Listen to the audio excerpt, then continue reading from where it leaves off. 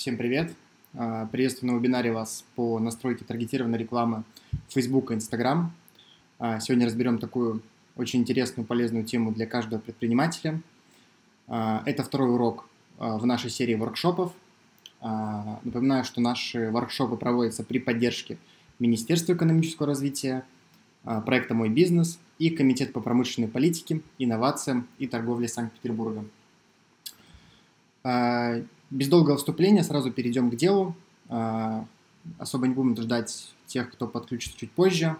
А, что сегодня будет? А, сегодня на вебинаре мы рассмотрим настройку таргетированной рекламы. Длительность вебинара предполагается час 30 минут. Постараемся не затягивать, чтобы все прошло своевременно. Сам вебинар будет состоять из четырех частей. Первое знакомство, быстро познакомимся – пройдемся по теоретической части, где кратко рассмотрим а, те тонкости настройки, а, которые мешают таргетологам предпринимателям качественно настраивать таргетированную рекламу, чтобы она давала результат. Далее непосредственно будет сама практическая часть, где мы в прямом эфире совместно с вами настроим первую рекламную кампанию. Я расскажу фишки, детали и тонкости, которые помогут вам в дальнейшей работе для того, чтобы успешно рекламировать существующий продукт ваш или вашего клиента. И далее э, в конце вебинара мы рассмотрим фишки и я отвечу на ваши вопросы. Для тех, э, немножко замотивирую вас, для того, чтобы вы остались до конца вебинара, и расскажу, что в конце вебинара э, раскрою секрет, который знает очень маленькое количество таргетологов, мало кто его применяет. Секрет этот больше пришел к нам с Запада, от западных именитых таргетологов, таких как Люмер, и сейчас он очень активно использует в узких кругах арбитражников и опытных ребят, которые работают в сфере таргетинга более 3-4 а, лет. Я расскажу, как это все применяется, как вы сможете применять это в своем проекте, и я думаю, что достаточно быстро достигнете а, с помощью этой связки результатов. Кратко познакомимся, кто мы такие. Мы рекламное агентство Магат Professional. Мы существуем на рынке уже с 1993 года. Мы реализовали более 250 успешных диджитал-проектов, среди которых э, крупные, средние и мелкие проекты, в том числе для таких предприятий, как «Газпром», э, Volkswagen, различные стартапы Сколково, Сбербанк, Альфа-банк. А также указываю в презентации свой Telegram на тот случай, если у вас возникнут какие-то вопросы, вы захотите поинтересоваться, э, можете смело писать, я с удовольствием отвечу на все вопросы, которые возникнут э, ходе вебинара у вас. Перейдем сразу к делу. А, что такое таргетинг, эффективен ли этот инструмент и в чем сложность его настройки? Таргетинг а, пришел к нам относительно недавно. А, этому инструменту чуть более пяти лет в каких-то соцсетях. То есть это достаточно свежий, молодой инструмент,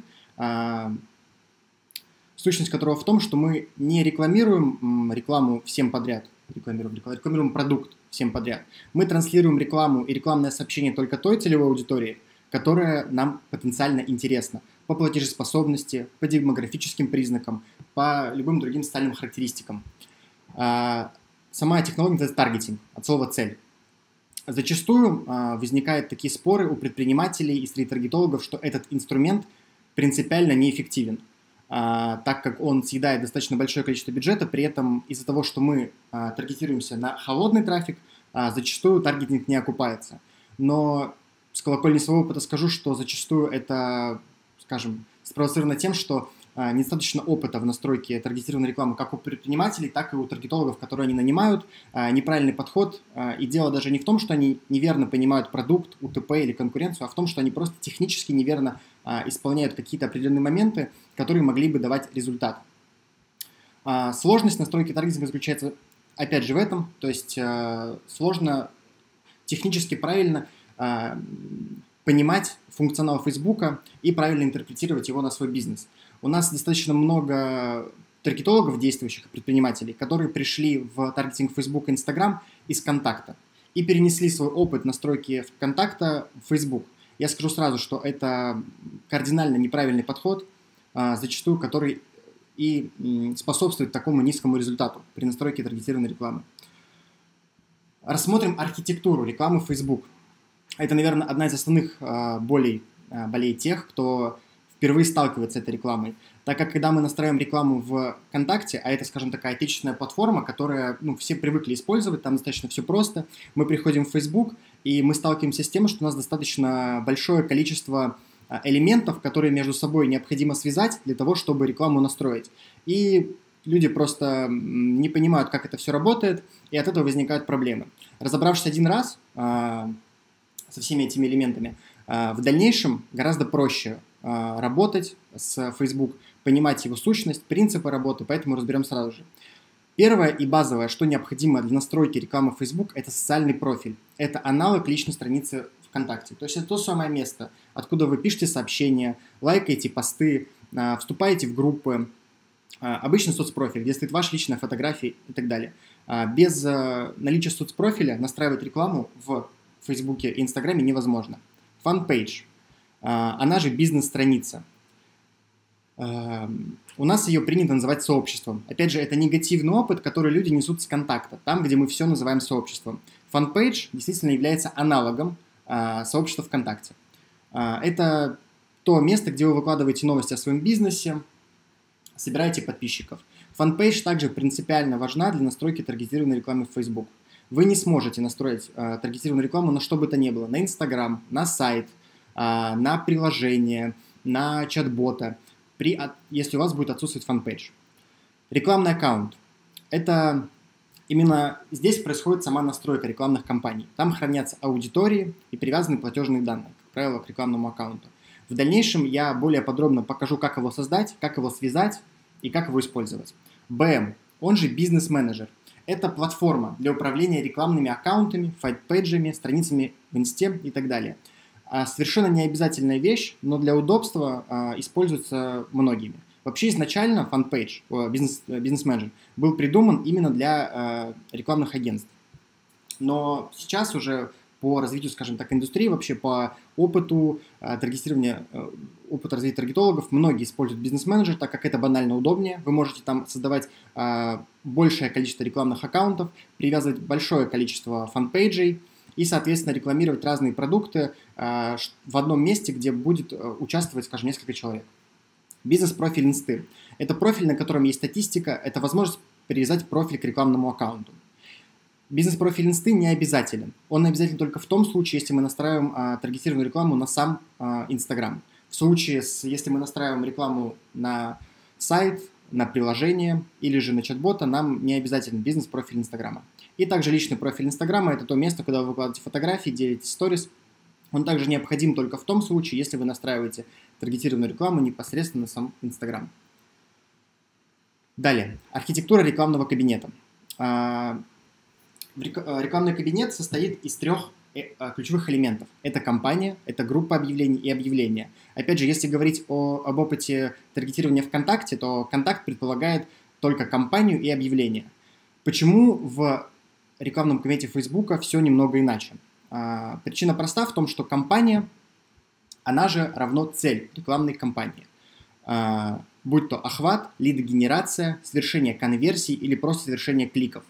А, в дальнейшем мы рассмотрим создание кампании. На уровне кампании мы выбираем только цель нашей рекламы. То есть зачем мы вообще рекламируемся? Чтобы мы хотим получить лидов, совершение конверсии, или мы просто хотим получить какой-то определенный охват нашей записи или даже, скажем, лайки. Далее идет группа объявлений. Группа объявлений это, сам, это ключевой момент, э, ключевой, ключевой элемент в структуре. Именно это, это именно то место, где вы выбираете аудиторию, таргетинг, географию, э, исключение и так далее. Именно этот элемент обучается в самой компании. Когда мы говорим про обучение рекламы Facebook, подразумевается, что обучается именно группа объявлений. Э, группа объявлений призна, обычно называют отсетом. И далее идут объявления. Объявления – это те креативы, то есть тот конечный результат, который видит именно пользователь, для которого реклама предназначена. То есть это картинка или текст, просто сторис, а, рекламное сообщение. А, на моей иллюстрации а, у компании всего две группы объявлений, но вообще количество групп объявлений не ограничено. Так же, как и не ограничено количество объявлений. То есть в одной компании может быть 10 групп объявлений, а у каждого объяв... группы объявлений может быть по 10-15 самих объявлений. Теперь, э, я думаю, после того, как мы рассмотрели такой краткий экскурс, э, провели в теоретическую составляющую, э, можно перейти к практической составляющей для того, чтобы мы своими руками самостоятельно вместе с вами настроили рекламную кампанию первую вашу. Для этого нам необходимо перейти в бизнес-менеджер Facebook. Для того, чтобы это сделать, вам необходимо перейти по ссылке businessfacebook.com, либо же просто забить в поисковой строке бизнес-менеджер Facebook. И вы окажетесь на странице, которая будет выглядеть вот так вот. Я сейчас также скрою э, презентацию, открою Google Chrome, и мы сможем вместе с вами это делать. У меня бизнес-менеджер будет выглядеть немножко иначе, так как у меня уже есть часть компаний, которые созданы, поэтому у меня он выглядит немножко по-другому. Секундочку.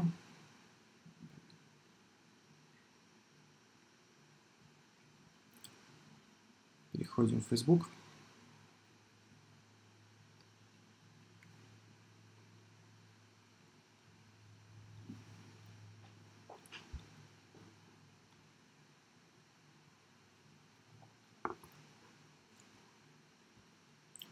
Секунду. Я сделаю все вместе с вами, то есть загублю и перейду на страницу. Мы оказываемся на странице бизнес-менеджера. А, именно здесь мы создадим первый элемент а, в структуре а, Facebook, в архитектуре Facebook. Нажимаем «Создать компанию». Нам необходимо придумать название компании. Мы для теста будем называть просто «Магнат вебинары». Вы, соответственно, называете компанию для своего удобства, для своего отображения так, называется ваш бизнес или клиент. Электронный рабочий адрес. Электронный рабочий адрес, вводите любой актуальный рабочий адрес, который у вас есть – его необходимо будет в дальнейшем подтвердить. Жмем «Далее». Далее необходимо выбрать страну э, вашего бизнеса. Зачастую сейчас Facebook требует подтверждения того, что ваш бизнес существует. Поэтому рекомендую выбирать страну, той, в которой то есть Россия в нашем случае. Адрес улицы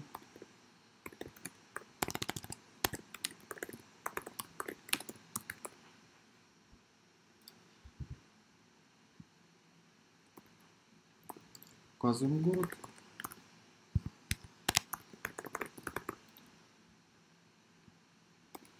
Штат, провинция, регион э, Ленинградская область. Важно также указать почтовый индекс. На самом деле не всегда понятно, зачем его запрашивает Facebook, так как Facebook э, зачастую не отправляет никаких закрывающих документов и вообще не взаимодействует с вашим бизнесом напрямую, но вообще почтовый э, индекс принято указывать верный. Номер телефона компании можно возвратить, но мы запомним. Сайт.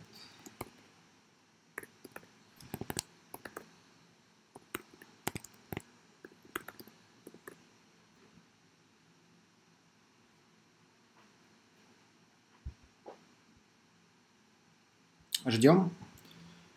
Наш бизнес-менеджер создается. Важно сказать, что зачастую а, бизнес-менеджер может быть не создан, и вообще э, личная страница может быть забанена. Или отлететь на подтверждение, как называется, на селфи. Э, в кругах вот называют. Почему? Потому что сейчас Facebook активно борется с э, так называемыми арбитражниками, то есть люди, которые э, работают по модели cost per action, и, скажем э, так, он больше сейчас за легальный бизнес, он э, продвигает легальный бизнес способствует продвижению легального бизнеса. Итак, мы попали в наш бизнес-менеджер. Теперь переходим во вкладку «Настройки компании».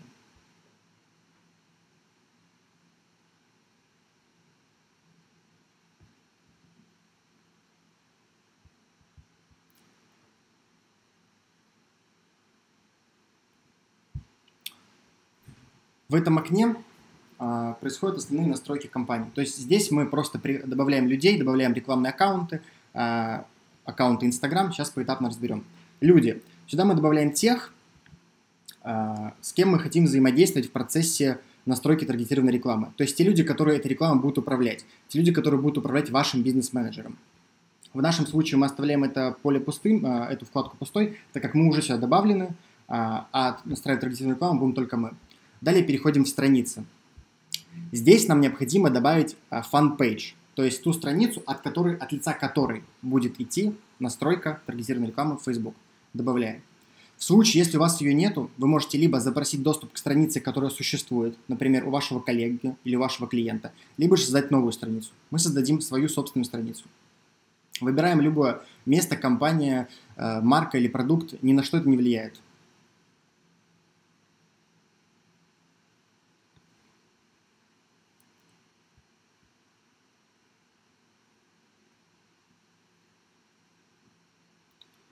Название страницы.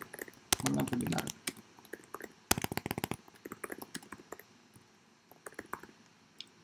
Категория. Категорию можно выбрать любую, она также ни на что э, особенно не влияет, никто не будет проверять, просто задаем вузы.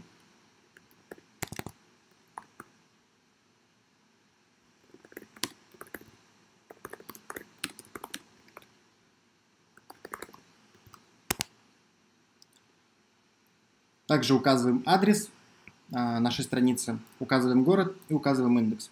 Facebook э, в случае неверного ввода индекса вас поправит и как бы просит э, ввести верный индекс. Создаем бизнес-страницу, он же фанпейдж. Страница создана. Теперь мы можем создавать рекламу с нашей страницы Facebook. Далее переходим во вкладочку «Рекламные аккаунты».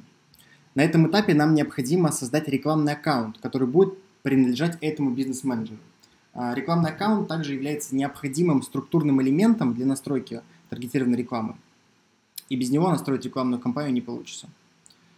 Если у вас есть а, рекламный аккаунт, который принадлежит другой компании или принадлежит, а, или ваш личный, вы можете его просто смело сюда добавить, нажать на кнопочку «Добавить рекламный аккаунт» и указать в этом поле ID рекламного аккаунта.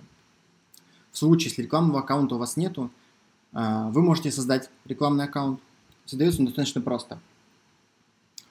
Но здесь есть э, несколько тонкостей. Первая тонкость – это валюта.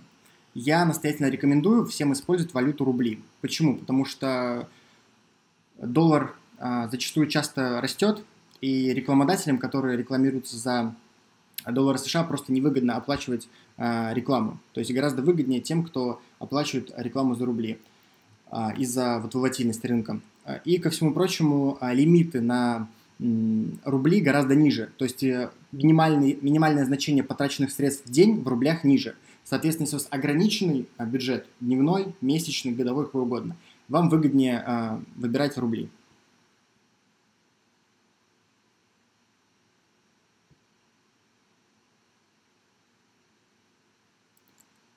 Так, российский рубль. Название рекламного аккаунта также магазин вебинара. Ох, не отлетели сейчас на бан. Так. Угу, да, так. Я не могу создать новый рекламный аккаунт по причине того, что он не создан. А, но, надеюсь, у вас получилось. Я буду настраивать рекламу с другого рекламного аккаунта, который у меня уже есть. А, я, у меня просто лимит, я уже не могу создать новый. Вот.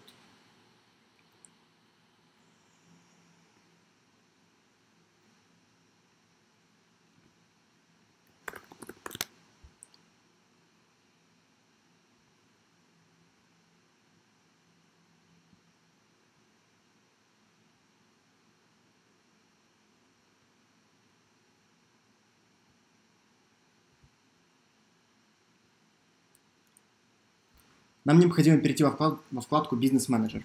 Ads Manager, Ads Manager, прошу прощения, Ads Manager. Выбрать необходимый рекламный аккаунт, который мы только что создали с вами, только что назвали его. Мы попадем в окно, которое, в общем-то, называется Ads Manager. Это то место, где настраивается таргетированная реклама, а, откуда она управляется и где отслеживается вся статистика. То есть это рабочее пространство любого таргетолога и владельца бизнеса, который самостоятельно настраивает рекламную э, кампанию для себя. Э, пробежимся кратко по интерфейсу. Вверху у нас э, сам рекламный аккаунт. То есть мы можем выбрать, когда их несколько у вас, э, вы, соответственно, выбираете тот необходимый, на котором вы работаете. В нашем случае это будет мой личный рекламный аккаунт э, Юрий Силаев. Компания, группа объявлений и объявления. Это та структура, которую мы с вами обозревали на предыдущих слайдах. Теперь нажимаем на кнопочку «Создать». Перед нами открывается первое окно. Итак, компания. Выберите цель. Нам необходимо выбрать цель компании. По существу э, используют э, не все цели компании. Как правило, используют трафик, генерация лидов и конверсия. Это те цели, которые используются в 99% случаев. Также, за редким исключением, используется охват, вовлеченность э, и продажи по каталогу. Но мы с вами рассмотрим на примере трафика, так это будет проще воспринять и использовать в дальнейшем. Трафик. Называем компанию.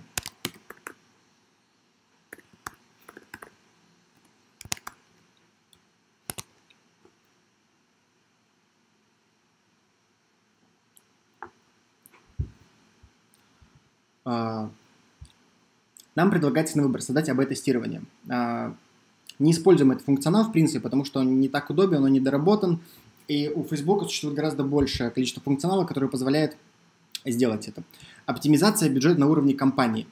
А, иногда она еще называется SBO, как правило называется SBO, то есть Campaign Budget Optimization, а также есть ABO, Asset Budget Optimization – для опытных таргетологов я всегда рекомендую выключать, то есть чтобы это значение было выключено. Почему? Потому как мы самостоятельно сможем контролировать ход рекламы и настраивать его таким образом, а, чтобы это было эффективно для нас. И я покажу на примере а, настройки с АБО, то есть а, тот метод, который позволяет вам экономить бюджет, приводить новых клиентов и при этом эффективно взаимодействовать с ними.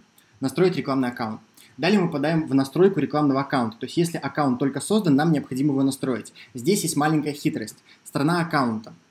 Как вы все знаете, в России за рекламу а, мы Facebook платим НДС. То есть если, к примеру, мы открутили 8 тысяч рекламного бюджета, а, совместно с НДС у нас выйдет а, на чек на 10 тысяч рублей. Для того, чтобы это избежать, мы можем выбрать страну, где НДС не платится. Например, это Киргизия, Казахстан, Беларусь. А, Facebook а, особенно никак это не отслеживает, а, не карает за это, но я советую все-таки выбирать Россию, так как это более надежно, мы живем в России. Соответственно, в случае возникновения к нам вопросов мы всегда сможем продемонстрировать, что мы оплачиваем НДС и все вовремя. Нажимаем «Продолжить».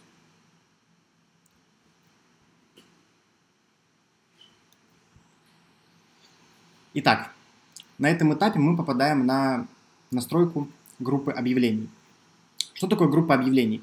Как я уже сказал ранее, группа объявлений – это то место, где мы настраиваем сам таргетинг. То есть э, мы настраиваем аудиторию, географию, мы настраиваем э, place, э, мы настраиваем место назначения рекламы. Называем группу объявлений. Группа объявлений называется, как правило, по аудитории. То есть в нашем случае это будет широкая аудитория 1. Ну, мы назовем ее так.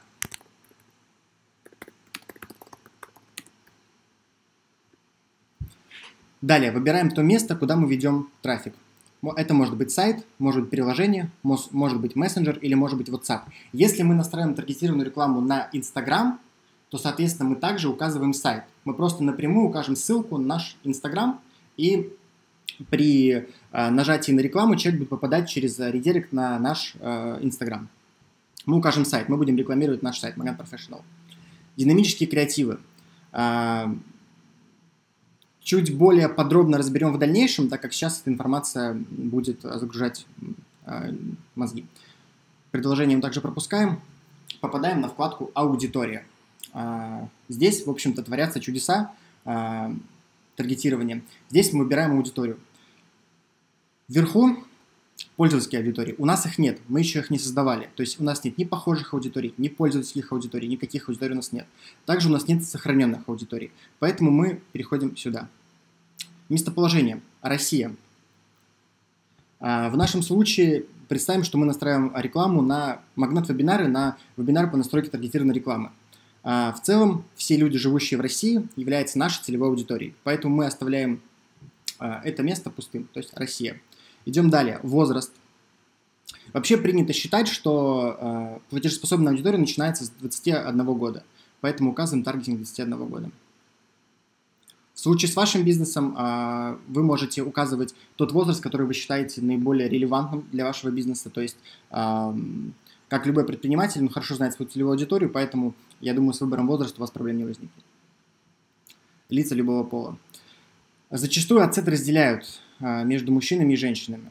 То есть, если, условно говоря, у нас продукты для беременных или у нас продукты по обслуживанию автомобилей, то, как правило, например, при такой рекламе разделяются гендер, то есть на мужчин на женщин даются отдельные компании. В нашем случае, а я напомню, мы настраиваем рекламу для вебинаров «Магнат», мы не разделяем аудиторию. В случае, если же вы все-таки хотите протестировать, какой из гендеров, скажем, будет давать наибольший, наибольшую отдачу, вы можете это сделать и просто продублировать этот ацет с другим гендером. Детальный таргетинг. В данном случае мы выбираем интересы, то есть те интересы, по которым будем таргетироваться.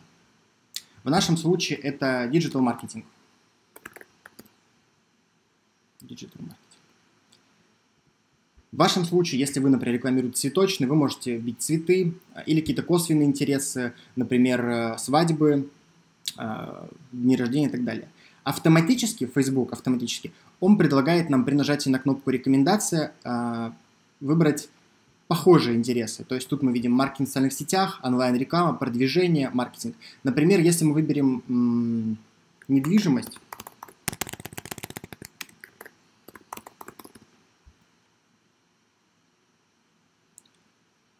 Facebook также заменит э, эти интересы на более релевантные, то есть он нам предложит инвестиции в недвижимость, объекты недвижимости и квартиры. Например, выберем квартиры, жилой комплекс.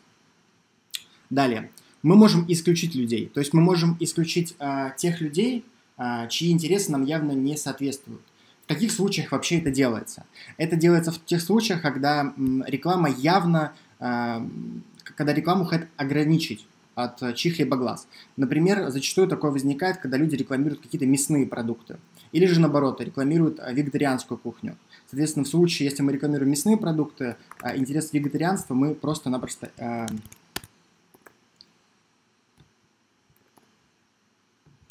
короче, интересы овощи, вегетарианства мы исключаем, ставим их в исключение. Также у нас есть возможность сузить аудиторию. Также э, это называется пересечением. В каких случаях это делается? Представим, что мы продаем недвижимость. Э, в нашем случае это может быть какой-нибудь элитный жилой комплекс э, в центре Москвы. Мы выбрали прямые интересы, то есть мы уже выбрали людей, которые интересуются недвижимостью, жилым комплексом и квартирами. Но этого недостаточно. То есть человек может интересоваться недвижимостью эконом-класса, жилым комплексом эконом-класса, квартирой в ипотеку. А, но Facebook им рекламу покажет. Каким же образом нам тогда сузить эту выборку до той необходимой аудитории, которой наш продукт будет интересен? Мы можем подобрать более релевантные интересы. Скорее всего, если люди эм, интересуются дорогой недвижимостью, они э, ведут себя, у них есть определенные, скажем, такие показатели, то есть не показатели например, это может быть инвестиции, они могут интересоваться инвестициями, банковскими инвестициями. Они могут а, ездить на автомобилях люк, класса люкс. И из 5 миллионов исходной аудитории, а, нет, не из 5 миллионов исходной аудитории, из 11 миллионов исходной аудитории мы получаем аудиторию 6 миллионов. Это более релевантная аудитория. Также касаемо аудитории – а, расскажу, скажем, соответственно, фишку определенную. Зачастую люди при настройке таргетированной рекламы переносят а, свой опыт из контакта, а ВКонтакте основной принцип настройки таргетированной рекламы – это микросегментирование. То есть люди заведомо делят а, аудиторию очень маленькими кусками, то есть используя аудиторию по 3-5 тысяч человек, по 10 тысяч человек. В случае с Фейсбуком а, так делать а, я не рекомендую, это непрактично. Почему? Потому что в Фейсбуке достаточно серьезные, серьезное машинное обучение. Что это значит? Это значит, что Facebook а, аудиторию знает гораздо лучше вас и достаточно быстро обучится подбирать релевантную вам аудиторию, если вы эту аудиторию сужать не будете. Поэтому не пугайтесь, если, например, вы а, рекламируетесь по какому-то городу-миллионнику, скажем, Санкт-Петербург, и у вас совокупная аудитория получается 2 миллиона. Facebook ни в каком случае не будет охватывать все 2 миллиона. Он выберет именно ту аудиторию, которая э, будет проявлять интерес к вашему продукту, достаточно быстро оптимизируется. В случае же, если вы указываете много интересов, сужаете аудиторию, там, скажем, до 60 тысяч, до 100 тысяч человек, э, Фейсбуку гораздо тяжелее провести необходимые оптимизационные алгоритмы и э, показывать вашу рекламу правильно и давать им результат. Поэтому я советую указывать 2-3 э, ключевых интересов. В нашем случае это будет просто digital marketing.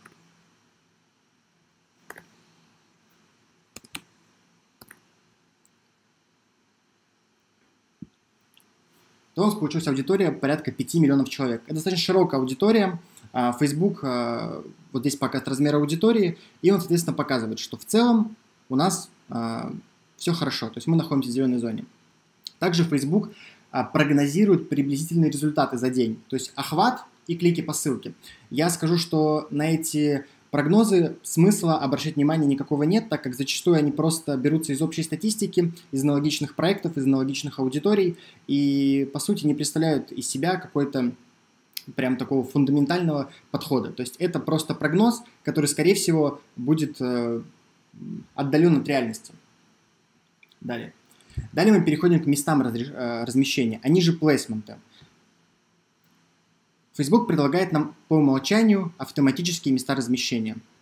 Естественно, э, делать этого не стоит, так как в таком случае вы будете показываться э, и в Facebook, и в Инстаграме, и в ленте, и в сторис – а, а также вы будете показываться в различных мессенджерах и в партнерах Facebook.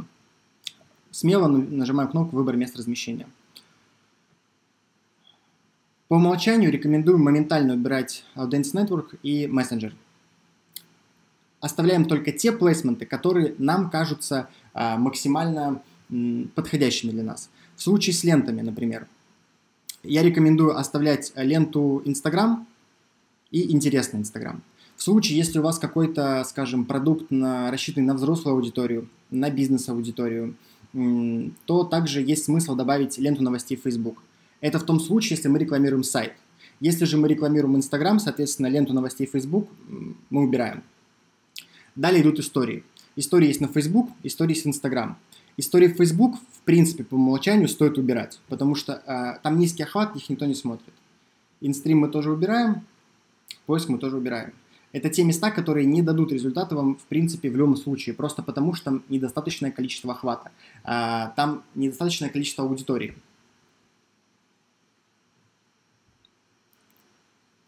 Далее, мы выбираем э, бюджет и график показа нашей аудитории. Клики по ссылке или просмотр целевых страниц, показы, дневной охват среди уникальных пользователей. Что я рекомендую делать? Если же вы настраиваете рекламу с целью э,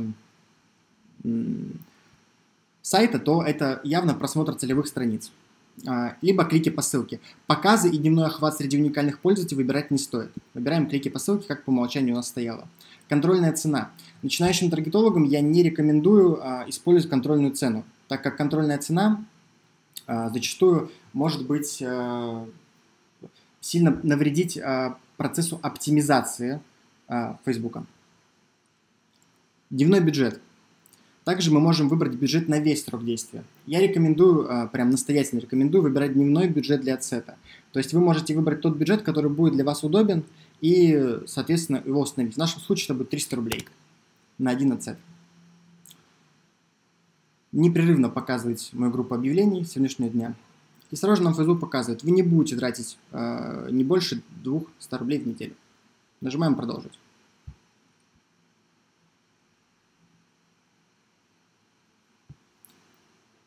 Теперь мы попадаем в объявление, то есть третий структурный элемент в рекламном кабинете Facebook. А, здесь мы называем так, как нам удобно. Я а, привык номеровать креативы, называю его креатив 1. Далее мы выбираем страницу Facebook, от лица которой мы будем рекламироваться. В нашем случае это магнат вебинары, выбираем ее. В случае, если вы хотите рекламировать аккаунт Instagram, вам также будет необходимо здесь выбрать аккаунт Instagram. Но так мы аккаунт не привязывали, мы будем рекламироваться напрямую от страницы Магнат Вебинары. Далее. Формат. Формат, существует их основных три. Это кольцевая галерея, а, галерея, одно изображение или видео, а также подборка. А, в случае, а, в нашем случае мы будем рекламироваться одно изображение или видео но я также советую, в принципе, поэкспериментировать с форматами. Например, если мы берем опыт e-commerce проектов, магазинов бренда одежды и так далее, отлично заходит формат кольцевая галерея. Подборка также подходит идеально в случае, если мы, например, рекламируем какие-то торты, пирожные, цветы. А, то есть это группа объектов, которые в полноэкранном режиме открываются на мобильных устройствах. В нашем случае берем одно изображение или видео. Instant Experience. Э, это полноэкранная целевая страница, которая оптимизирована под эм, мобильное устройство. Э, работать с Instant Experience э, я рекомендую только в том случае, если у вас нету своего сайта, своего интернет-магазина или своей страницы. Во всех других случаях это достаточно такая неприменимая технология, которую Facebook активно распространяет. Она нашла свое применение на Западе, но у нас она используется не так часто. Далее мы добавляем непосредственно сам медиафайл, то есть медиа-объект. Те элементы, которые будет видеть конечный пользователь. То есть саму картинку на нашем сайте. Добавляем изображение. Изображение можно загрузить с компьютера.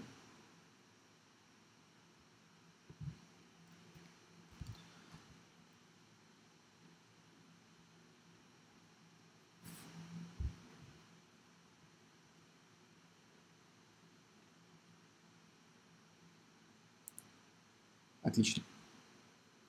Мы добавили изображение. Теперь мы смотрим на корректность отображения его. То есть открываем Инстаграм, открываем историю. В историях э, тизер отображается достаточно корректно. Но если, например, мы откроем ленту, то он там отображаться не будет. Почему? Потому что соотношение сторон э, в тизерах под сторис и тизерах под ленту используются разные. Соответственно, мы нажимаем кнопочку «Редактировать», нажимаем кнопку «Изменить», и загружаем другое изображение, которое будет э, демонстрироваться э, непосредственно в самой... У меня, к сожалению, такого изображения, к сожалению, не подготовлено. Но в любом случае вы можете загрузить изображение, которое будет соотношением сторон 4 на 5. 4,5. И оно будет корректно отображаться в Instagram-ленте. Такую же аналогичную процедуру мы проделываем с лентой новостей на мобильных устройствах, потому что отображается некорректно, то есть просто написано таргет в Instagram – и э, в ленту новостей на ПК.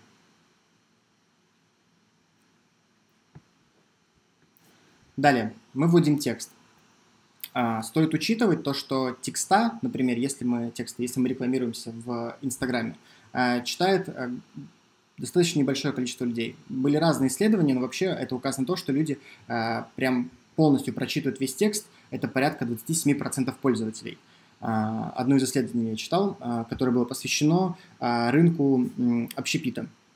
Поэтому, если, скажем, у вас достаточно простой продукт, который не нужно объяснять пользователю, который можно показать с помощью картинки, мы просто набрасываем небольшой текст, то есть указываем какой-то заголовок и небольшой текст с призывом к действию. Например, уже сегодня 18 8 часов там по МСК, мы проверим.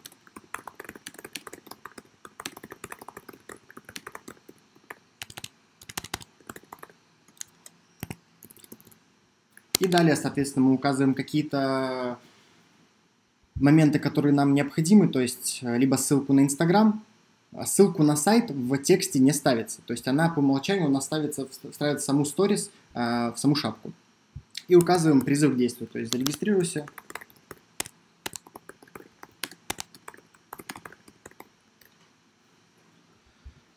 Facebook также нам предлагает добавить еще одни варианты. Для чего это делается? Это делается для того, чтобы мы могли протестировать а, большое количество текстов. То есть не заострять свое внимание на каком-то одном конкретном тексте, а протестировать сразу несколько, то есть до пяти. А, мы можем попробовать а, использовать разные заголовки, использовать разное тело к тексту, использовать различные призывы к целевому действию. А, добавлять можно до пяти текстов. Facebook в конечном итоге выберет один единственный текст, который а, будет давать максимальный результат, который заложен нами в компании. То есть будь то клики по ссылке, просмотр целевых страниц или совершение конверсии. Заголовок. Заголовок оставлять не обязательно, я его оставляю э, крайне редко, поэтому тут как бы на ваше усмотрение, необходим заголовок вашей рекламной кампании или нет. Описание также не обязательно. Далее. Теперь мы указываем э, место назначения нашего, нашей рекламы. В нашем случае это будет Magnat Education.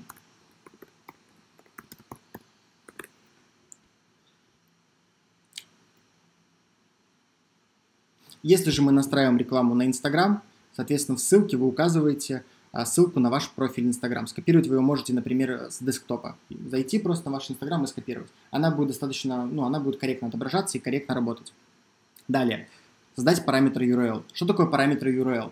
А, когда мы настраиваем рекламу на сайт с целью совершения покупок, а, с целью оставить заявку, нам необходимо вычислять качественный трафик и некачественный трафик.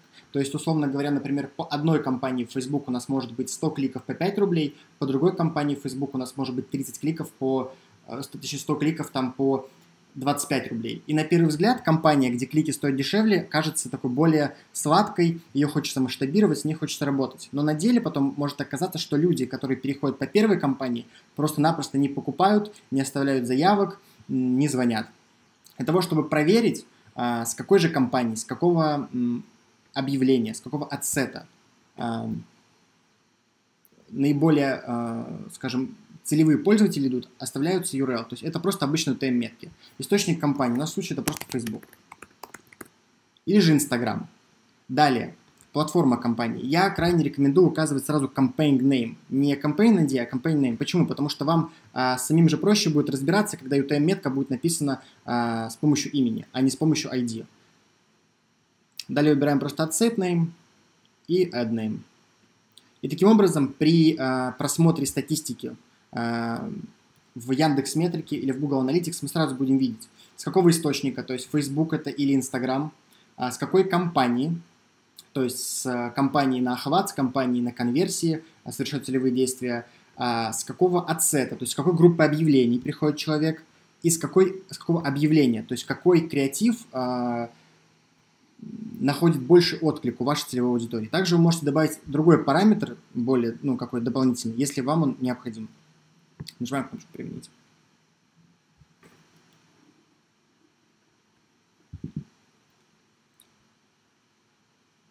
Секундочку.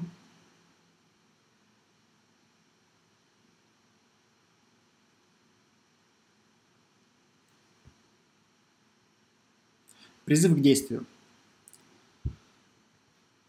А, Тут также все зависит от того, с какой целью вы настраиваете рекламную кампанию. То есть, например, э, вообще как бы зачастую используют просто подробнее. Почему подробнее? Потому что это такой призыв к действию, который вроде бы не обязывает человека к совершению какого-то конкретного целевого действия. То есть, если мы посмотрим, то здесь есть э, слушать, подать заявку, забронировать, скачать, получить приложение, меню, в магазин, регистрация, подписаться и так далее. Люди очень часто ставят просто кнопку подробнее. А, потому что, например, нажимать на кнопку «Забронировать» эм, в принципе страшно, пока мы не изучили контент на посадочной странице, посадочной площадке. Поэтому мы как бы оставляем эту кнопку подробнее. В случае, если нам необходима регистрация, мы можем оставить, например, кнопку «Регистрация». Как мы сделаем, так нам нужна регистрация в нашей компании. Но в целом э, это также тот момент, который необходимо тестировать, который необходимо учитывать. Э, также было одно интересное Эм, кажется, исследование у, одной, у одного именитого агентства, которые исследовали именно процент конверсии с призыва к действию. То есть это, кажется, такой маленький, незначительный элемент, который, в принципе, на ход компании повлиять не может. Но, как оказалось, э, выбор правильного призыва к действию э, также может оказывать такой достаточно большой след на результаты рекламной кампании. У нас тут возникает, конечно же, ошибка, потому что мы некорректно, скажем так, настраивали компанию. Но в целом, как бы у нас все верно, все настроено правильно. Так, так, так, а что у нас может быть неправильно? Целом у нас все правильно. Нажимаю кнопку «Подтвердить». Наша компания отправляется на модерацию. Ага, не обязательно. В случае, если мы настраиваем, если наш рекламный аккаунт принадлежит э, России, то у нас могут запросить ИНН. Для чего это делается? Это делается для того, чтобы, насколько я понимаю, получить, получить налоговый вычет в случае чего. Мы кнопку отпустить. Тут нам необходимо указать платежные данные, которыми, с помощью которых мы будем оплачивать свой рекламный аккаунт. Необходимо имя и фамилия на карте, а, номер карты и код безопасности. Facebook достаточно защищенная соцсеть, а, которая очень аккуратно следит вообще за какими-то платежами, вплоть до того, что, например, если вы перекрутили чуть-чуть там 10 или 15 рублей, Facebook вам может ее вернуть. А опытные таргетологи, наверное, часто замечали сообщения в рекламном кабинете, что был пересчет, и вам вернули 4 рубля 16 копеек.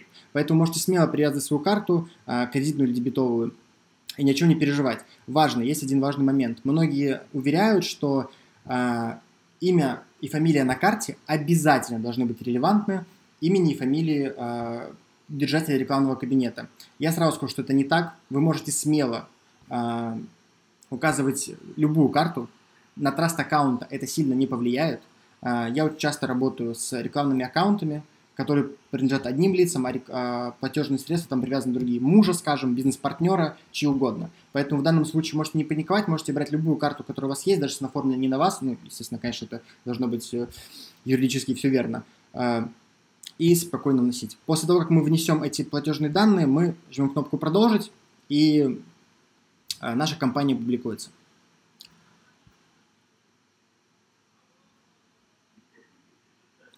Я перейду сейчас в другой рекламный аккаунт, чтобы показать вам, как выглядит... Э, давайте... Давайте я вам продемонстрирую рекламный аккаунт, который, э, скажем, в нашей работе, э, с помощью которого мы ведем людей на эти вебинары, на нашу серию воркшопов, которые организовал мой бизнес совместно с Министерством технического развития. Называются они немножко так сумбурно.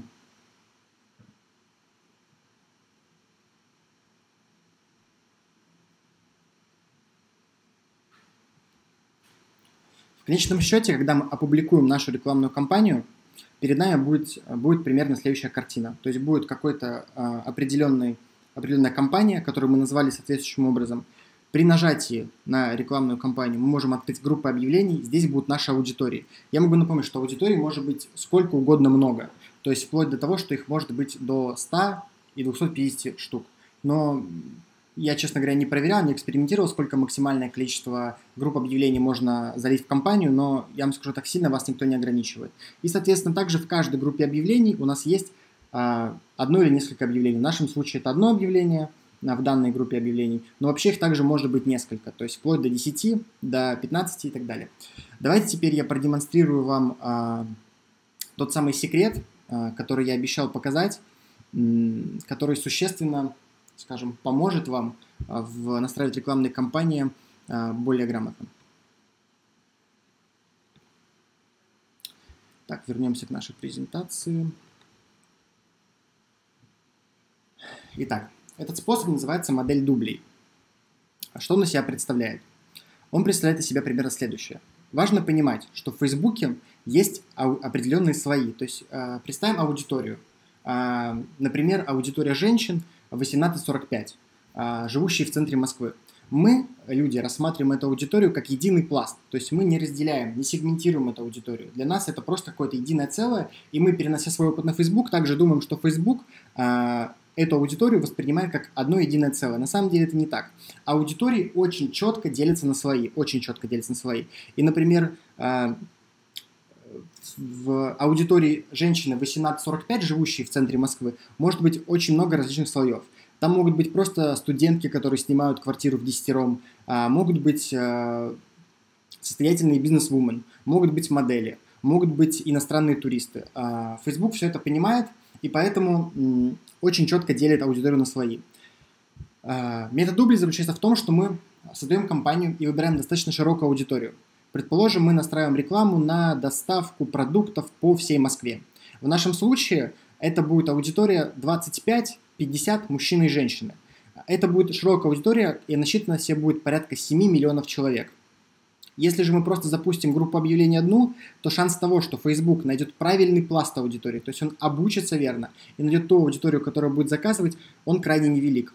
Как же с этим бороться? Мы должны помочь Facebook э, в этом э, как бы найти соответствующий пласт. Что мы делаем? Мы берем группу объявлений и дублируем ее несколько раз. Одну и ту же аудиторию дублируем. Я обычно делаю 10 дублей. Для чего это делается? А, мы запустили кампанию, в ней одна аудитория, и на одну и ту же аудиторию мы 10 раз показываем одну и ту же рекламу. Facebook не будет показывать рекламу одним и тем же людям. Он будет щупать разные слои, пласты аудитории в указанной нами э, выборке. То есть, например, из аудитории 7 миллионов человек каждый пласт возьмет себе по 200 тысяч человек и начнет их щупать. И один из пластов, как правило, зацепится. То есть это будет именно тот пласт аудитории, который будет совершать целевые действия. Через 48 часов, после того, как мы запустили всю эту модель, мы переходим в рекламный кабинет и, скорее всего, перед нами будет следующая картина. Из 10 аудиторий, у меня их тут меньше, у меня их тут 7, ну просто потому что в презентацию не влезло, вообще обычно их там делается 10, кто-то делает даже 15. Мы зайдем в компанию через 48 часов после старта и обнаружим примерно следующее. У нас будет одна группа объявлений лидер. То есть это будет та группа объявлений, которая будет выдавать целевые действия с максимальным результатом. То есть, например, если на всех остальных будет по одному, по два целевым действия, на этой будет 8-10. Это значит, что эта группа объявлений нашла тот самый необходимый пласт, и теперь будет его использовать а, максимально долго. Наша задача с вами эту группу объявлений, объявлений лелеять, кормить, а, охранять и растить, для того, чтобы масштабировать ее. Также будут два сублидера. Это будут а, те группы объявлений, которые вроде бы дали какой-то результат небольшой, то есть, условно говоря, а, они совершили по несколько целевых действий, но и результат чуть выше, и количество чуть меньше. Но сублидер также имеет право на жизнь, сублидер, обычно их 2-3, не больше. А, скорее всего, сублидер умрет через какое-то время, то есть эта аудитория, она нашла группу объявлений, ну, тот пласт аудитории необходимый, но все равно недостаточный. Поэтому наша задача сублидеров тоже кормить э, вот эти две группы объявлений, потихоньку их, э, скажем так, растить, но как только целевое действие выйдет за пределы, скажем, нашей рентабельности, просто отключать. Группа объявлений же, которая э, крепко вцепилась в необходимый э, нами пласт, мы должны плавно-плавно поднимать ей бюджет до необходимого. Э, как вообще правильно поднимать бюджет? Facebook э, платформа, которая регулярно обучается. То есть и в том числе наша компания, группа объявлений регулярно обучается. Для того, чтобы это обучение не сломать, для того, чтобы нам не сломать алгоритм, который приносит нам результат. А повышать бюджет дневной на группе объявлений нужно очень аккуратно. Как правило, я делаю, рекомендую всем повышать по 10% в день. То есть, например, если у нас там 1000 рублей на одну группу объявлений на бюджет, повышаем до 1100. Потом под, поднимем еще на 100, потом еще на 100, потом уже там на 120, 130 и так далее в день. Если же все-таки у нас э, мы достаточно сильно торопимся, я рекомендую на 10% каждые э, 5-6 часов. Так это не собьет обучение группы объявлений и при этом даст э, такой необходимый результат. Давайте я сейчас покажу на примере э, запуска э, модели дубли, дублей и покажу, что я имею в виду и как это вообще работает, насколько это эффективно.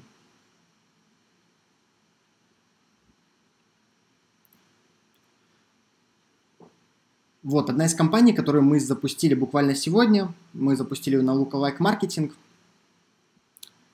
и сделали достаточно большое количество дублей. Если мы, например, нажмем кнопку «Результат», то мы видим, у нас есть а, определенный лидер. Он набрал 7 конверсий, 7 завершенных регистраций. Также есть какое-то количество больших сублидеров. И есть а, отсеты, которые вообще не зацепились. При том, что количество охватов и показов на всех группах объявлений примерно одинаковое. А, Пока что рано делать выводы, так как эта компания только свежая, она запущена только сегодня. Соответственно, а, все еще может поменяться и в целом а, продлить жизнеспособность этой компании на как минимум на 24 часа. Как правило, считается период обучения 48 часов или 8 тысяч а, показов охвата. Если после 8 тысяч охватов отсет не дает результатов, он уже не даст результатов вообще никогда, скорее всего. Он вцепился не в ту аудиторию, он неверно обучается, и эту компанию можно смело выключать. В нашем случае, пока не прошло нигде 8 тысяч э, показов охватов, э, мы эту компанию оставляем. Но у нас уже в целом э, вырисовывается лидер, который, соответственно, дает максимальный результат. Также существует часть сублидеров. Пока что тоже недостаточное количество действий, чтобы делать вывод, кто из них сублидер, а кто нет – но в целом эти э, группы объявлений также э, имеют право на жизнь, их также стоит повышать им бюджет на 10% дневного, но очень внимательно за ними следить, потому что в любой момент аудитория может просто потеряться, то есть э, Facebook потеряет необходимый слой аудитории, и мы э, будем расходовать неэффективный бюджет. И в конечном итоге мы видим еще часть э, групп объявлений, которые не дают результата вообще. То есть они получили то же количество охвата, то же количество показов, Э, но не дают результат. Э, многие э, противники этого подхода, их на самом деле немного, потому что такой подход знает не так, не, не так много людей, уверяют о том, что аудитории сильно друг на друга наслаиваются, и мы в конечном счете очень сильно повышаем себе CPM, то есть сами с собой же боремся на аукционе. Но по опыту могу сказать, что оверлапа, то есть насвоение аудитории, фактически не происходит. То есть Facebook действительно щупает в одной аудитории разные выборки. И они пересекаются, ну, порой там на от 5, да, даже от 5, там, от 2 до 15 процентов. 15 процентов это, в принципе, то пересечение аудитории, которое может э, э, иметь право на жизнь. То есть это не критично, это небольшое пересечение аудитории. Давайте теперь пробежимся по э, самому рекламному кабинету, посмотрим, какие элементы в нем есть, для того, чтобы эффективно управлять, для того, чтобы эффективно отслеживать рекламу. Итак, а, первое, что мы видим, это включена компания или нет. Когда горит синий значок, компания включена. Также можем понажать ее включить и выключить.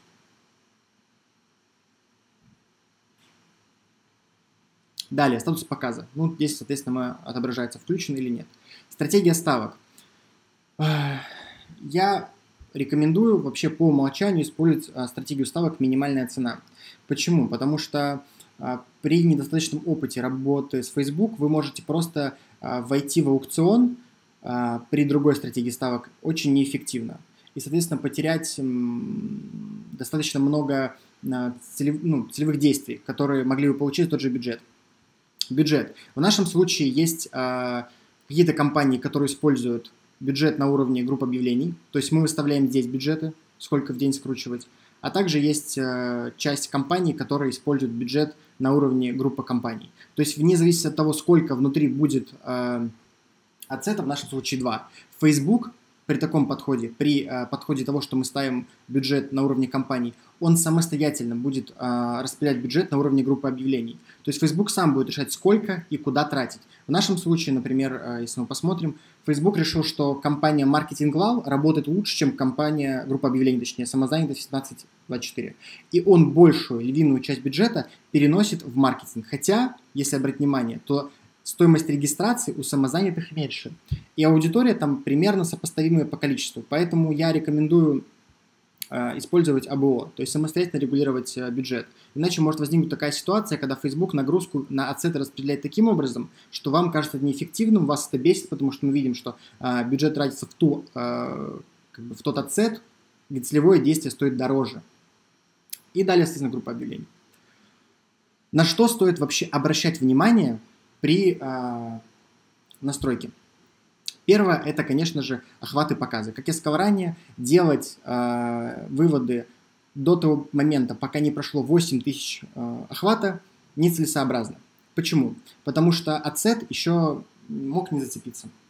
Далее цена за результат. Она считается автоматически. Будь то просмотр, будь то завершенная регистрация, просмотр целевой страницы, что угодно, совершенная конверсия. Далее сумма затрат, мы видим график. Частота. А, рекомендую также обращать внимание на частоту. Очень многие начинают... Что вообще значит частота? Например, частота 1 а, и 22 означает, что в среднем нашу рекламу один человек видит 1 и 22 раза. То есть, когда частота будет 2, например, это будет значить, что человек в этой выборке видит рекламу два раза. Вот. Многие таргетологи начинают очень сильно паниковать, когда видят частоту 1,78, а, там 1,85, ну то есть такую аудиторию, которая, а, частота, которая приближается к двум. На самом деле это не критично, то есть а, в первую очередь нужно обращать внимание на целевое действие, на стоимость целевого действия по дням. И в целом частота может быть и 4. У меня есть компании, где частота на показ человека 4, и в целом целевое действие также в рамках нормы.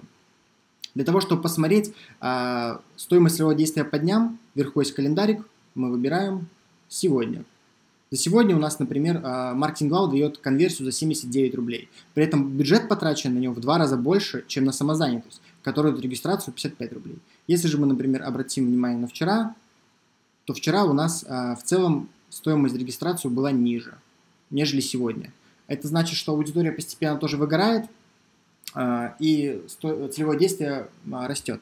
А, также стоит вообще помнить про такой фактор, как выгорание целевой аудитории. Это неизбежный процесс, и любая аудитория, она выгорает. Задача таргетолога и предпринимателя, который самостоятельно настраивает себе рекламу, с этим выгоранием бороться. То есть э, искать какие-то новые пути, всегда вещи что-то тестировать, тестировать но- новые аудитории, тестировать новые креативы на старой аудитории. Только таким способом можно избежать полного выгорания аудитории Хотя рано или поздно, конечно, в любом случае а, произойдет. Почему оно произойдет? Потому что аудитория ограничена. А, и как бы бесконечно показывать один и тот же продукт и вызывать интерес и отклик у людей невозможно.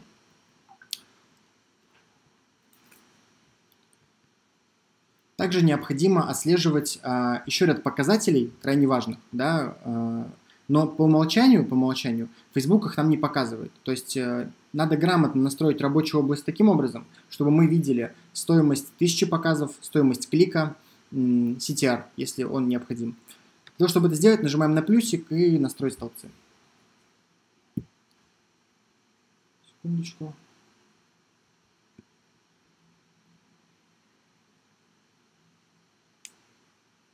тысячи показов. Итак, мы переходим в настройку колонок, настройки столбцов. То есть это то место, где мы можем настроить рабочую область э, так, как необходимо нам, чтобы нам было удобно. Итак, первое, что мы видим, это результативность, то есть стандартные какие-то настройки. Здесь э, важно что? Статус показов, количество показов, частота, охват, результаты, э, клики если вам необходимо видеть все клики. Клики все, это значит клики, которые были и по шапке, и по иконке, и по ссылке, то есть все клики. Плата за клик. Также в целом очень актуальная информация, то есть нам, чтобы примерно понимать, если мы считаем конверсию вручную. Например, мы считаем, что из 100 кликов 3 человека купило. А, клик один стоит, например, 7 рублей. Получается, что нам один там целевой покупатель обходится там примерно где-то 230 рублей. То есть, чтобы нам примерно хотя бы математику это складывать. Вот. Но вообще это делается автоматически, но если, скажем, мы только начинаем, у нас малый бизнес, мы очень э, криво и самостоятельно настраиваемся рекламу, можно делать таким образом. Отношение кликов к показам все. Это как бы вообще метрика называется CTR. То есть тот процент, который э, отображает, э, сколько из э, сколько людей, которых, которые увидели рекламу, кликнули по, по ней. Многие таргетологи и предприниматели очень активно на эту метрику обращают внимание.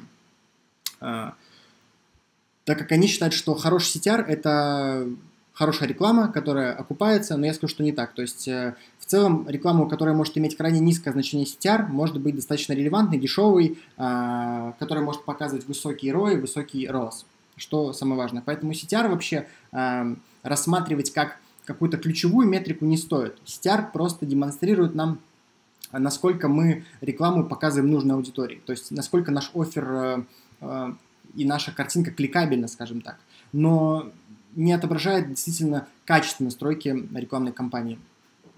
Так. Переходим далее. Цена за результат. Мы отображаем в любом случае для того, чтобы нам считать, да, э, сколько стоит, например, совершенная конверсия, или э, сколько стоит лид в нашу компанию, или сколько стоит просмотр целевой страницы. CPM. Цена за тысячу показов это вот крайне важная метрика, которую необходимо отслеживать. Что такое CPM вообще? CPM – это цена за тысячу показов. То есть это, скажем так, юнит. Это вообще базовая стоимость аукциона. А, эту метрику необходимо отслеживать просто потому, что аукцион может сильно скакать. Например, в один день на вашу целевую аудиторию CPM может стоить там 180 рублей, в другой день а, та же аудитория, те же тысячи показов может стоить 250-300 рублей. Соответственно, мы э, увеличиваем целевое действие, то есть стоимость целевого действия, она просто растет неизбежно, потому что аукцион э, более нагружен, более нагрет. Из CPM важно следить, чтобы правильно делать выводы. Uh, то есть сопоставлять, почему у нас стал стоить дороже клик, почему у нас стала стоить дороже покупка. То есть причина в каком-то, uh, скажем, однодневном скачке может быть именно в CPM, поэтому важно отслеживать CPM. Вовлеченность для страницы, то есть это в том случае, если мы, скажем, uh, настраиваем рекламную вовлеченность, в данном случае нас это не интересует.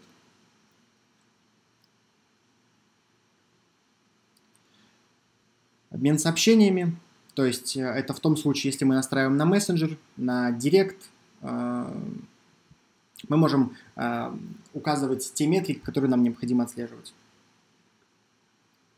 А, извиняюсь. А, медиа. А, для чего эти показатели отслеживать? Делается не для того, если мы, скажем, проводим какую-то охватную имиджевую кампанию. Например, мы Coca-Cola или мы просто какой-то крупный бренд, а, который хочет работать именно на узнаваемость своего бренда а, и показывать а, свой рекламный ролик, который, например, длится 15 секунд в сторис. Соответственно, нам необходимо отслеживать метрики, которые будут показывать, насколько целевая аудитория вообще увлекается в это видео. И мы можем посмотреть вот просмотры видео в точке 25%, 50, 70, 95 и 100. Среднее время просмотра видео э, и делать определенные выводы по качеству креатива, по качеству аудитории. Клики. CTR э, как метрика а, то есть мы ее оставляем просто для того, чтобы ее видеть. Но в целом внимание на эту метрику мы не обращаем. А, предполагаемый прирост запоминаемости рекламы. А, в целом это, как, это очень приблизительная метрика, которую недавно ввел сам Facebook, ну, не, относительно недавно. И она просто показывает, насколько благодаря вашей рекламе вы приросли в узнаваемости и запоминаемости своего бренда. Э, в какую-то практическую составляющую вот в этой метрике найти сложно. То есть, по сути, это просто галочка ради галочки. Далее идут стандартные события. Э, в случае, если мы работаем с конверсиями или у нас на сайте стоит пиксель, что важно. Сейчас в дальнейшем мы также разберем, э, что делать, если мы работаем с сайтом, каким образом нам поставить пиксель, как его создать и как его использовать. А, в случае, если на вашем сайте стоит пиксель, вы можете выбрать а, стандартные события, и пиксель самостоятельно будет, необходимо провести небольшую настройку, и пиксель будет считать, сколько раз вы добавили в корзину пользователя. Также будет видно, сколько цена за добавление в корзину, и как бы другие метрики, в том числе покупки, завершенная регистрация, клики на рекламу и так далее. Далее настраивается все очень по желанию, то есть э, вы можете просто полистать, посмотреть, какие э, вам необходимо отслеживать метрики для того, чтобы полностью контролировать э, свою рекламную кампанию. И далее нажимаем «Применить».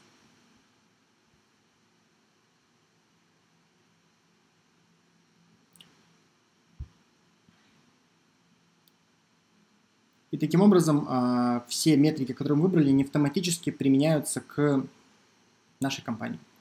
То есть мы видим и уникальные клики по ссылке, видим просто клики все, то есть клики по шапке, клики по шапке, да, CPM. CPM важно отслеживать, и важно его отслеживать в динамике. Как это делать? Очень просто, если, например, э, у вас там небольшое количество компаний, а, нужно просто примерно смотреть а, нагрузку на аукцион, скажем, каждый день. Вот мы заходим, видим, что 6 августа на календаре у нас 6 августа да, выбрано. CPM в среднем, например, по компании LAL 283 что в целом приемлемо. Если, например, выбираем сегодняшний день, то что 215. Это говорит о том, что нагрузка на аукцион в конкретный день снизилась. Или это может значить то, что э, Facebook нашел ту аудиторию, э, по которой нагрузка на аукцион ниже. Также видим кликабельность, то есть тот самый знаменитый как бы CTR, который, э, за которым все э, очень пристально следят добавление в корзину, добавление в корзину на сайте и так далее. То есть те метрики, которые также можно отслеживать в случае, если у вас настроен пиксель. Секундочку.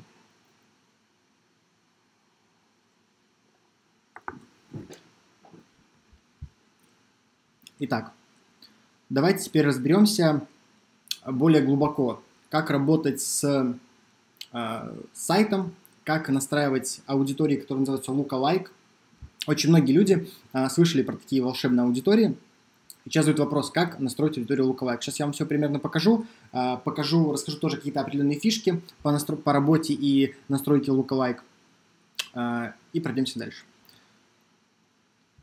Итак, для того, чтобы нам настроить пиксель, нам необходимо перейти в Events Manager. Для того, чтобы в него перейти, нам нужно нажать э, на троеточие вверху, и мы пойдем в окно Events Manager.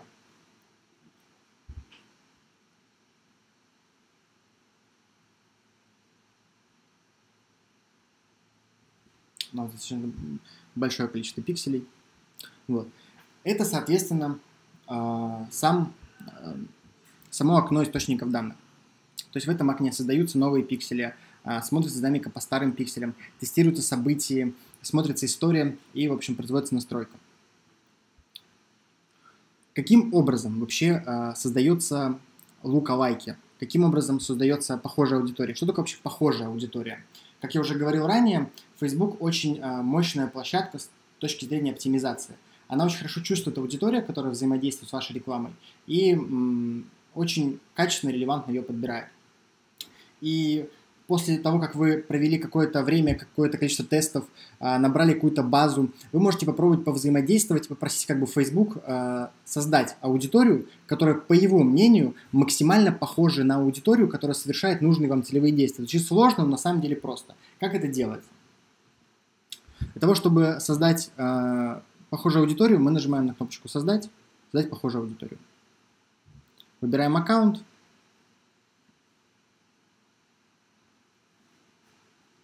И, соответственно, здесь мы можем создать а, другие источники, выбрать. А, так, давайте с самого начала сейчас покажу, а то...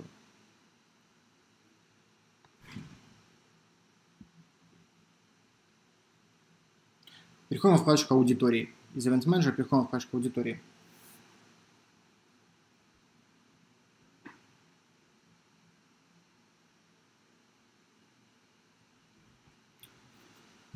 Так, эту вкладку сверху мы сворачиваем. Итак, это дашборд работы с аудиториями. Здесь мы можем создавать новые аудитории, сохранять аудитории и создавать лукалайки. Итак, лукалайк. Лукалайк всегда создается на основе какой-то исходной аудитории.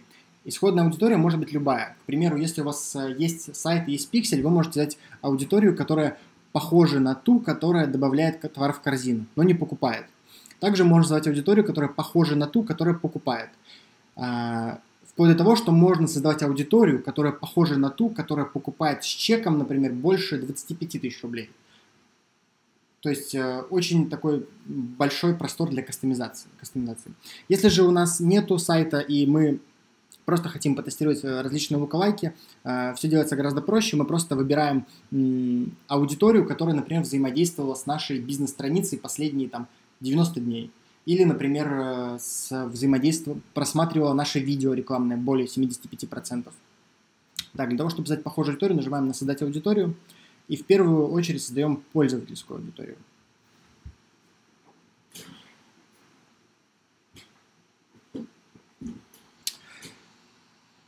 Перед нами открывается окно, которое э, дает нам выбрать какой источник будет для нашей э, похожей аудитории в дальнейшем, то есть тот самый источник. Сайт выбирается в том случае, если у нас э, уже есть пиксель.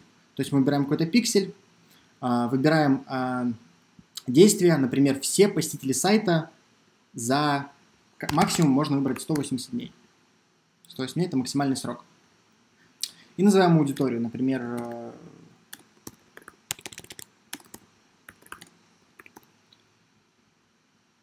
эта аудитория теперь у нас создается. То есть Facebook автоматически соберет аудиторию, которая была на нашем сайте последние 180 дней. В случае, если у нас нету сайта и нам необходима другая пользовательская аудитория, мы можем выбрать либо Instagram аккаунт, либо форма генерации лидов, например, страница Facebook и видео. Ну, например, выберем видео –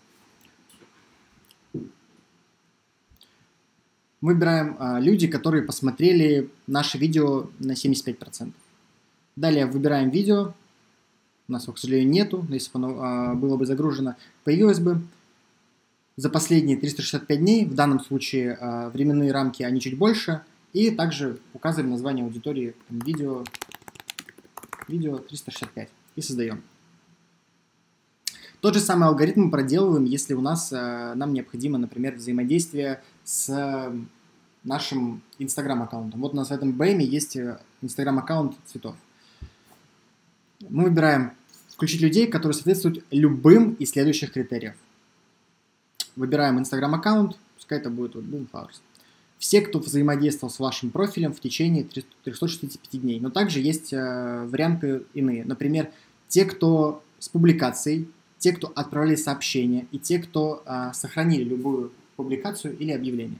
Как правило, тестируются все эти э, луковайки по отдельности. То есть люди, которые писали в директ, они э, потенциально для вас, как для собственника, более ценны. И для Фейсбука, так они совершили целевое действие и написали вам. Поэтому э, собирать э, аудиторию, похожую на основе э, отправившей сообщения для вашего персонального аккаунта, э, скажем, гораздо более... Э, важно, рентабельнее, чем, например, какое-то другое действие. Но тестировать нужно все. И также называем аудиторию. Например, Директ 365. Почему создать аудиторию? По умолчанию Facebook нам сразу же предложит либо создать похожую аудиторию, то есть нашу lookalike, либо создать объявление. Мы создаем похожую аудиторию, так как нам важна именно она.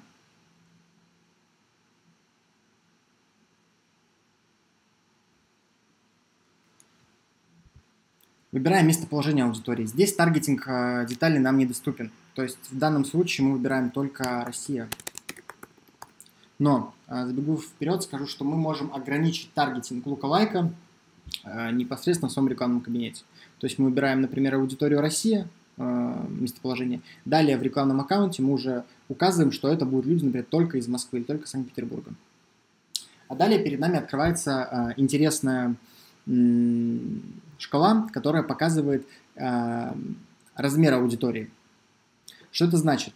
1% это люди, которые с наибольшей долей вероятностью похожи на 1% той аудитории, которая э, дает вам максимальный, максимальную ценность. И, соответственно, по мере увеличения процентов аудитория растет, но становится менее качественной. То есть всего доступно 10%, и, как правило, по умолчанию 10% это порядка 4 миллионов человек. Если говорить про 1%, это 300, 2, кажется, 500. 700. Миллион и так далее. Как правильно тестировать луковайки? А, вообще, зачастую бывает так, что, например, 1%, да, он по умолчанию считается самым качественным процентом, потому что это именно та самая выжимка а, людей, которые похожи на тех, кто писал вам в директ за последние 365 дней. Но здесь есть как бы одна маленькая деталь, заключена в том, что эта аудитория, она просто неизбежно выгорает. Она неизбежно выгорает, и поэтому а, я рекомендую изначально сразу брать аудиторию чуть крупнее. То есть есть смысл протестировать сразу 3%. В нашем случае мы так и сделаем.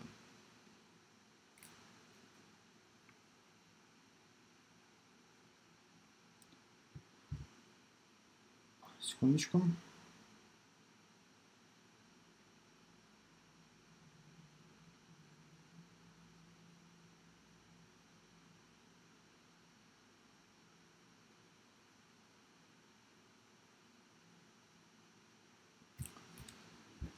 Итак, теперь мы видим, что наша аудитория э, собралась.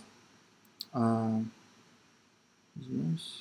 наша аудитория собралась, то есть у нас сейчас есть э, так, коллега через TeamViewer. Она как бы готова, но она до сих пор как бы собирается. То есть размер ее менее тысячи. Э, она станет доступна в ближайшее время. Как правило, она собирается буквально там 10-15 э, минут. Как настроить рекламу на наш lookalike? Мы переходим в Ads Manager.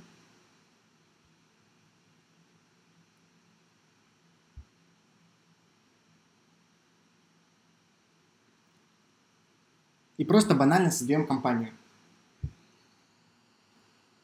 С самого начала.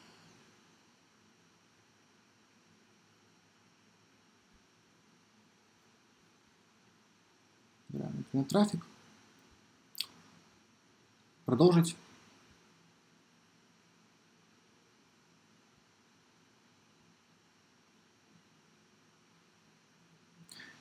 И вот здесь теперь, на том моменте, когда мы э, выбирали аудиторию, мы выбираем, мы не ставим детальный таргетинг да, изначально, мы используем аудиторию, которую мы только что создали. Мы нажимаем на окошко пользовательской аудитории, и нам автоматически Facebook предложит выбрать lookalike 3%, как бы, который у нас тут есть. Мы с него выбираем его и видим, что потенциальный охват меньше тысячи человек. Что это значит, что аудитории еще нет. Она просто банально пока что еще не готова, но компанию можем смело э, доделать, компанию мы можем э, настроить, отправить на модерацию. Как только аудитория заполнится, как Facebook ее заполнит, она начнет откручиваться. Вот.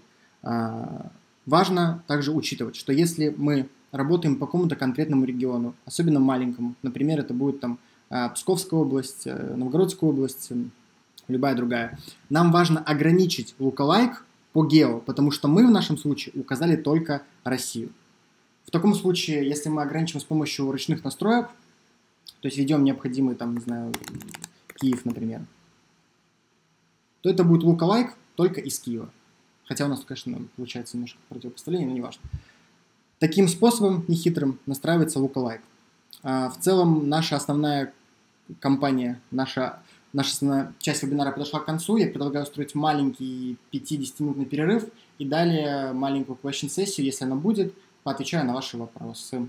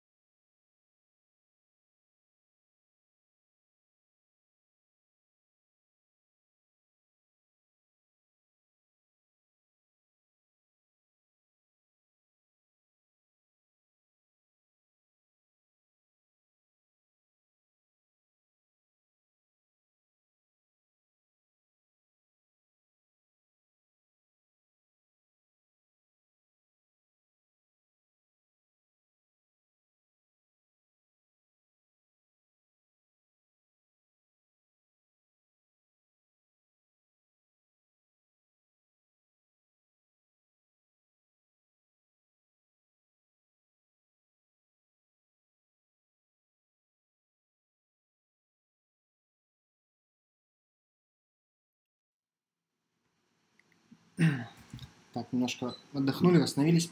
Видел, есть парочка вопросов, которые были касательно первой блокировки бизнес-менеджера. Я уже заранее сказал, что Facebook достаточно не клиент-ориентированная площадка. У них нет официального представительства э, офиса Facebook, и вообще в целом они э, к российским пользователям относятся с такой долькой негатива в плане того, что у нас очень много арбитражников. То есть очень много людей, которые льют э, трафик на различные черные направления, средства для похудения и так далее. Вот, поэтому Facebook сейчас начал массово блокировать бизнес-менеджера. И начал массово блокировать те аккаунты личной страницы. У меня у самого две личные страницы за буквально там три недели улетели в бан. А, с этим бороться, по сути, никак. Ну, то есть, э, чтобы не блокировать бизнес-менеджер, не блокировали его, а, проще всего подтвердить бизнес, ну, то есть подтвердить ваш бизнес. То есть э, обратиться напрямую в Facebook, можете в чатик или можете сразу перейти в бизнес-менеджер и в нем а, отправить документы для того, чтобы подтвердить вашу компанию. В таком случае а, шанс того, что ваш аккаунт неожиданно улетит в блокировку, а, значительно сокращается. Вот. В том случае, если подтвердить аккаунт невозможно, то есть как его подтвердить вообще? По сути, необходимо будет отправить документы, учредительные документы. То есть это будет, например, свидетельство регистрации юридического лица или ИП, и Facebook в ручном режиме, то есть поддержка его а, проводит а, эту модерацию. В том случае, если у вас юрлица нету, а, вы там, скажем, самозаняты или просто, ну, как бы, какой-то фрилансер, занимаетесь какой-то товаркой, в таком случае вы себя обезопасить никак не можете, но если у вас не будут найдены какие-то подозрительные действия на аккаунте, скорее всего, ваш БМ разблокируют. Но жаловаться какие-то вышестоящие инстанции тут, конечно, не получится, потому что, опять же, Facebook сам себе как бы голова. Вот. Поэтому тут на ваше усмотрение, а, как поступить. Я бы, если есть возможность, в первую очередь подтвердил бы Facebook. Но в таком случае вам придется всегда платить НДС. То есть, как я уже сказал ранее, если рекламный аккаунт, например, а, создан а, на Киргизию, вам платить НДС не придется. И что, в принципе, существенно экономит расходы. Второй вариант, как избежать вообще блокировок, работать через официальных, скажем так, реселлеров – а, рекламы Facebook в России. Их, по сути, два, насколько я помню. Это Елама и это AirTarget.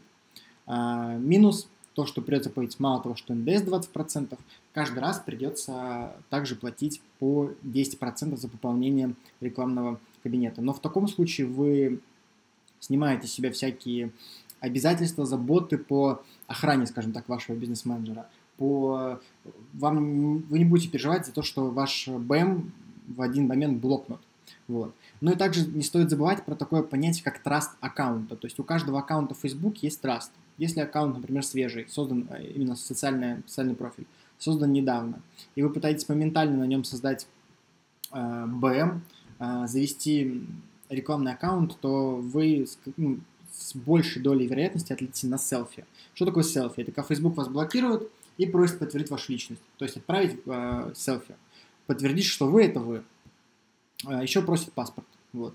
В том случае, если, например, вы регистрировали свой соцпрофиль на какого-то виртуального человека или на другого человека, то, скорее всего, вы, ну, вы не сможете его вернуть себе и просто безвозвратно утерян. Facebook оставляет за свое право блокировать, в принципе, любые аккаунты э, без права на восстановление.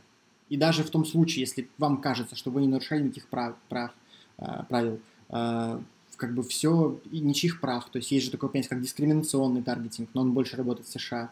И если даже вы это не нарушали, Facebook э, зачастую апелляции рассматривает очень однобоко, и если система посчитала вас нарушителем, значит вы нарушитель.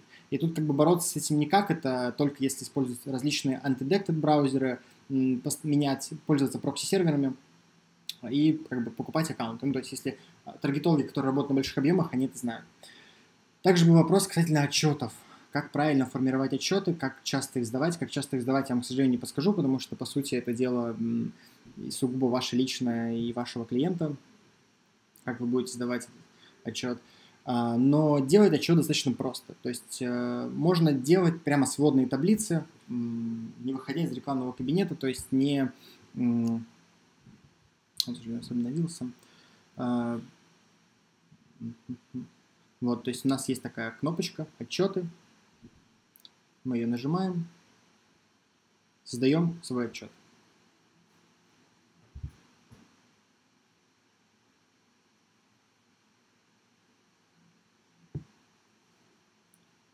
Здесь вы можете настроить, вот во вкладочке настрой. Во-первых, мы э, указываем дату, да, обычно отчет как бы он либо месячный, либо недельный.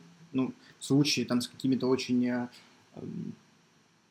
активными работодателями, может быть, ежедневный. Вот. В любом случае он настраивает, ну, как бы он делается очень легко, просто нажимаем настроить.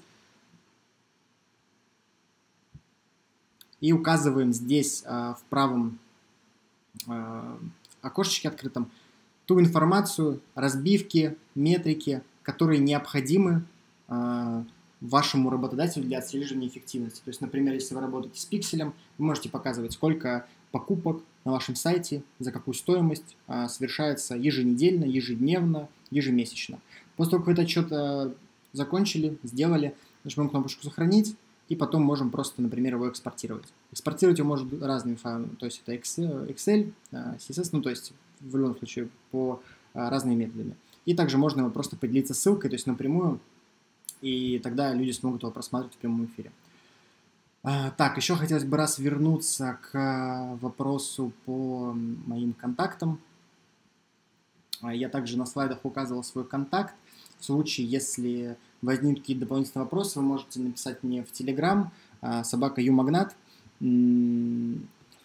На этом наш вебинар подходит к концу. Я надеюсь, что ничего не упустил, дал какую-то полезную информацию. Напоминаю, что наш вебинар а, проводит агентство Магат Professional а, совместно с а, Министерством экономического развития РФ, национальным проектом «Мой бизнес» и Комитетом по промышленной политике, инновациям и торговле Санкт-Петербурга. Всем спасибо большое за внимание, за уделенное время. До свидания.